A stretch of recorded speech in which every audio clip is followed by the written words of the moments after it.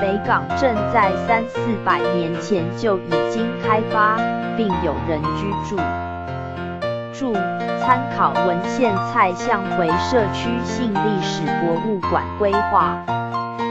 的理想与实际，以北港朝天宫文物馆为例。目前朝天宫文物馆内所收藏的文物超过三千件，从字画、针织品、陶瓷、屋瓦、福建德化窑、青花瓷、岩瓮、香旗到铜制烛台、戏服、佛像、百年神教等等物件琳琅满目，美不胜收。我想亲眼目睹闽南文化的演进，这里会是一个很好的开始。